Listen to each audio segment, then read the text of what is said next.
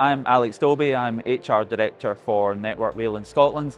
And we've been working with the CIPD to pursue People Development Partner status, which has all been about making our people profession and our HR teams the best that they can possibly be. The CIPD is a currency that the business world understands. My name's Jose Fernandez. I'm Deputy Director of HR. I work in the Government People Group in the Civil Service as part of the Cabinet Office.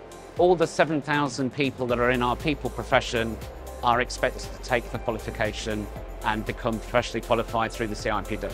Getting a CIPD qualification will equip you for the future.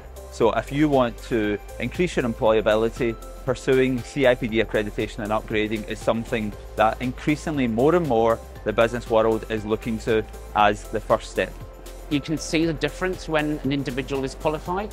So they have credibility, they have more understanding of what it means to be in the HR profession, but also their experience and knowledge improves. Partnering with the CIPD has enabled us to continue to raise the standards in the profession.